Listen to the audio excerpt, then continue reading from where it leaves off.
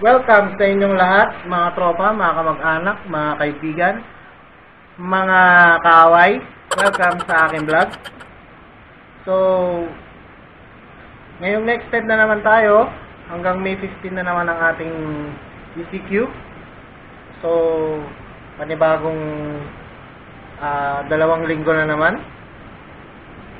So, itong gabi na to, ah, ipapakita ko sa inyo, ah, magluluto si Commander ko ng chicken sisig. Ah, bali, ito ay copycat lamang sa isang mga restaurant na aming kinakainan.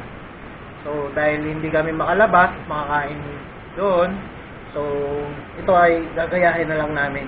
Sana ma-perfect namin mag-asawa. So, mamaya, makikita nyo. So, later na lang ulit. A few minutes later. So, ayan, mga kaibigan. Pinaprepare na po ni Commander. Yung, Nasa yung boiled chicken. yung mga boiled chicken. Dapat juicy pa rin siya. Kahit ano, nakakulo na. Ah, pulo. Kuluin mo ng salt and pepper. Tapos, iwa ko lang ito. Cubes-cubes daw siya.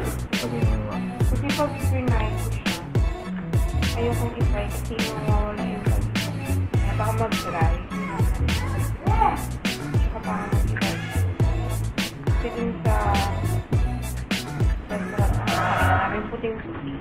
Yun yung white na white siya. I-replica ko siya. Mas uh, hindi ka gumaya gaya ng kaya kong gumaya ng meatballs na Eventually.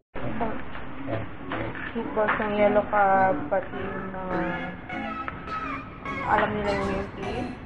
Next time na naman. Pepper steak ng wimpy.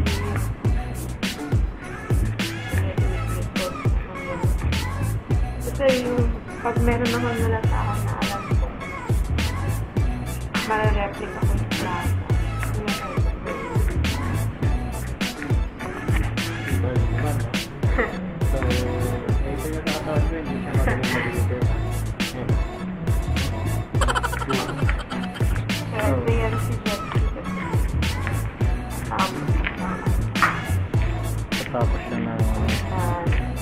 culinary na ano, yun.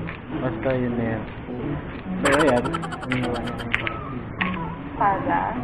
Feeling haba. Hindi na siya, actually yung restaurant, eh, hindi ganun siya ka-actually. Yung spicy din.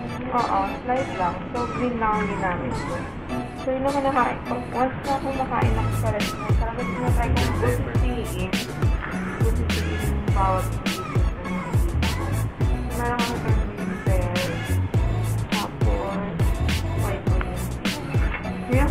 gagawin ko sa trial and error. Kung palpak, mukhang magluluto ako nito ulit next time. So, white onion. Dapat magkaka-size lang siya at much as possible. Yung technique para magiwa ng onion. So, dapat huwag mo tatanggalin yung yung root. Tapos, ganyan dapat yung kuko.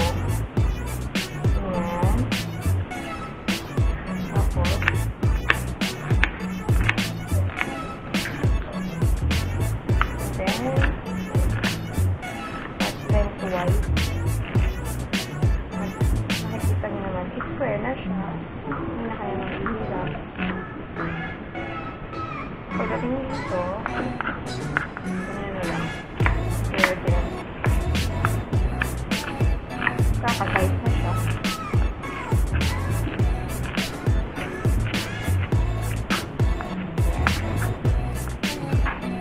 So, isang onion lang kasi masyado ng marami pag. Hindi na masarap pag marami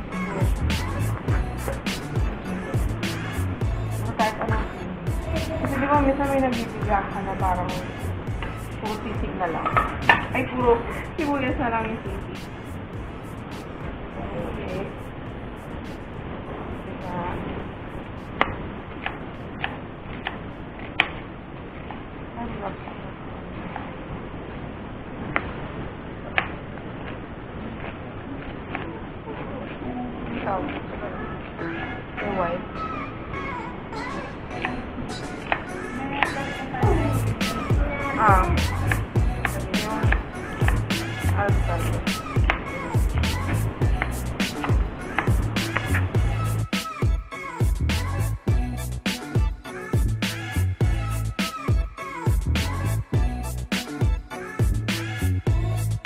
Eventually.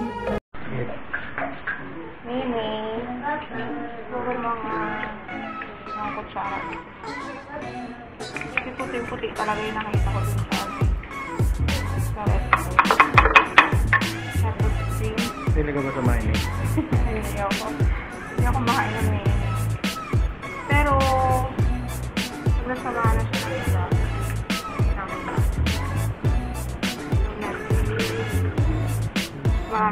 Kasi yung sa restaurant na, ano, chocolate, sinabi ko na, hindi talaga nalalasahan yung mayonnaise.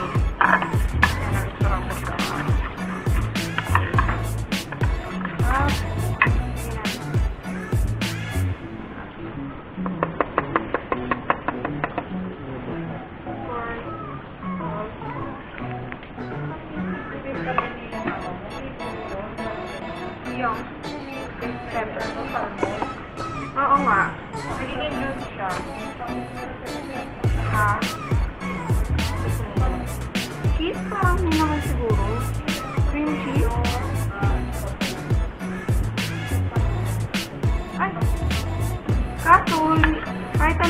siya, hindi rin naman kami makakaluto kasi walang salt.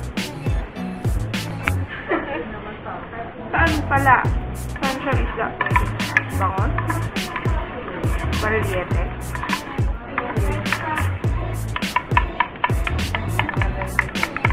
ASMR. ASMR.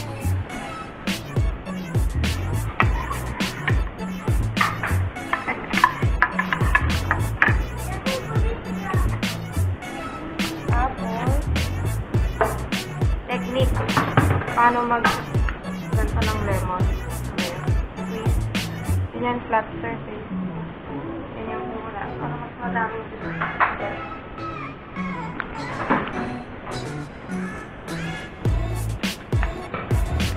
Dapat lagi kang may ng basurahan. Para hindi makalat, o diba? Organize lang tayo lahat. Ito. Diba? May sarili silang mga section. Kumbaga, Ang tawag din sa French, listen spot. section 1, section 2, section 3 to. Kasi nantay lang sila. Eh. Section contain. Pati last section. Look at this dude. Ayun, nilagyan ko na ng lemon. Ano? Finger licking juice yan. Oo, syempre. Yun naman. Malinis naman ang kamay natin.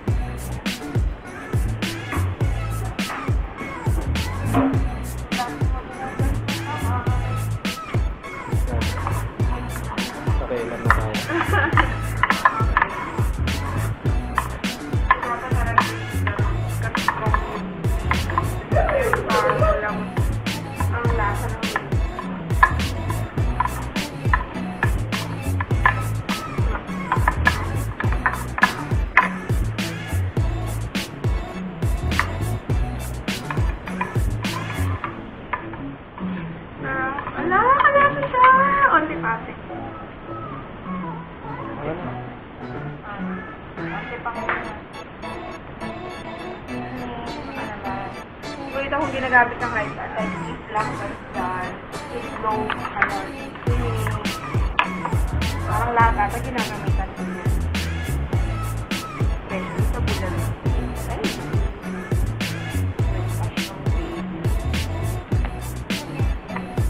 So, half ng lemon lang. So, yung kalating lemon, huwag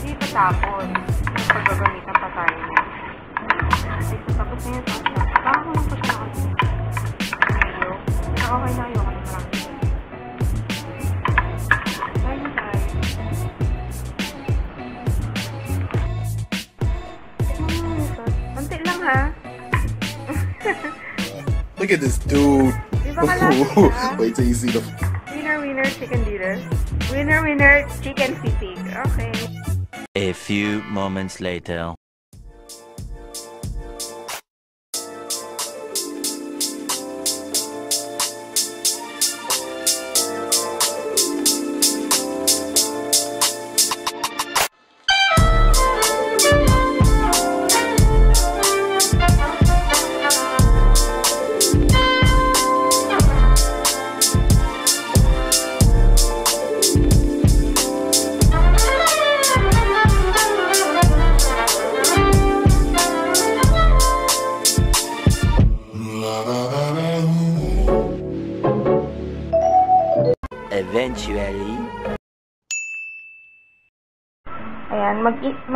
Lang tayo ng maliit na pan. Tapos, sandali lang natin to i-fry. So, ipa-flash fry lang natin siya. Since pwede naman kainin to ng hilaw parehas. Tsaka ito. Para lang hindi masyadong harsh yung lasa ng onion tsaka ng ah, bell pepper and also ng chili. Kasi ang chili, pag, pag naluto siya, nagiging medyo matamis siya. So, gusto natin makuha yung something, yung slight sweetness natin ng mga vegetables natin. So, sila veg vegetables yan. Okay. Okay. Kaya-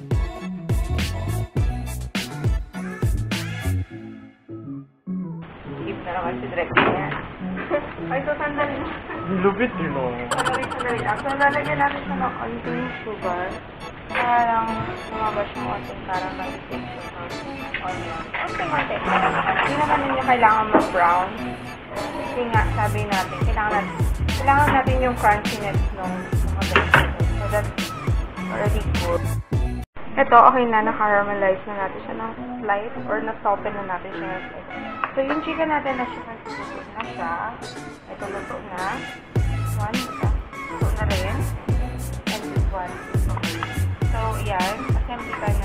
Dapat, pag nagluluto tayo, lagi, laging maayos. Laging may separate um, bowls or plates ang bawat isa para hindi kalat-kalat. So, yun. Lagi ko nakikita kamalian yun mostly. So, mas maganda yung organized tayo. Para, kumbaga smooth lang lahat. So, una lagyan muna natin yung chicken. Ayan natin lahat. Kasi marami naman tayo. And also, yung sauce. So, unti-unti lang to para hindi masyadong makrowd yung chicken. Kasi mamaya mas marami yung kasi sa chicken. Masarap lang yung parang nakukot lang lang. Hindi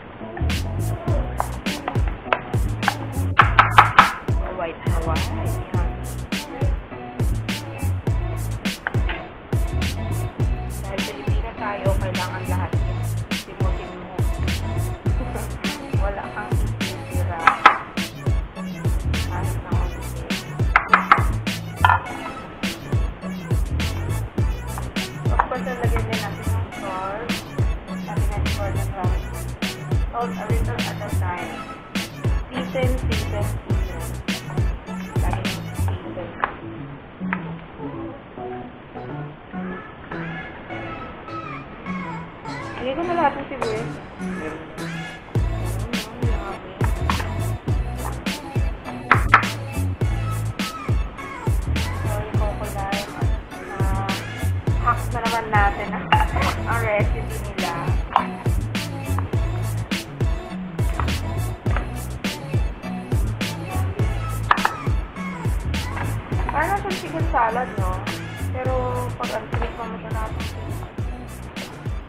Pwede mo rin siyang gawin sa tofu, sa fish.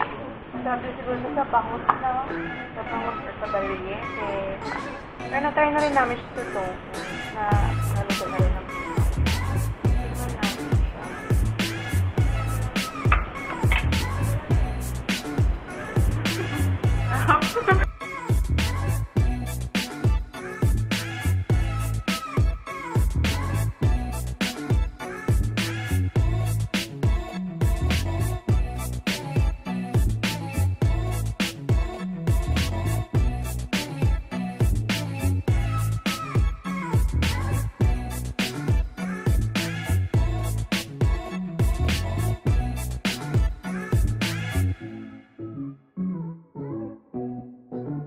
few moments later.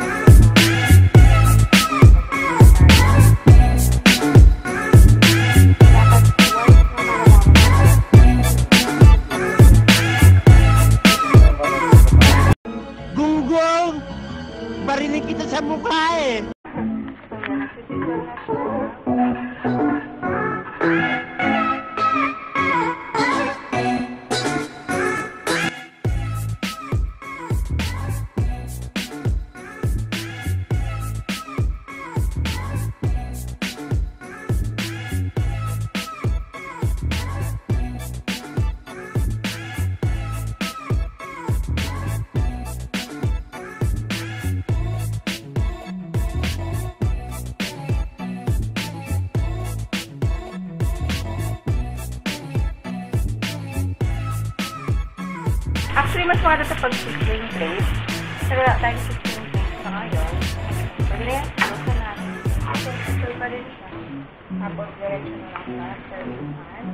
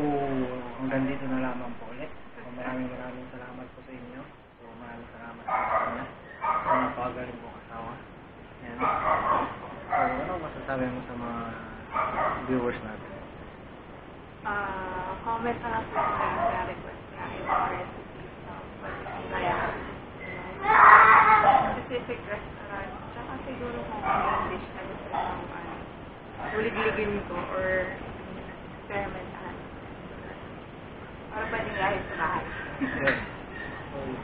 Comment down below kung meron kayong mga request na luto. Like, comment, subscribe to channel kung nagustuhan ang mga pinagagawa namin. So, we out.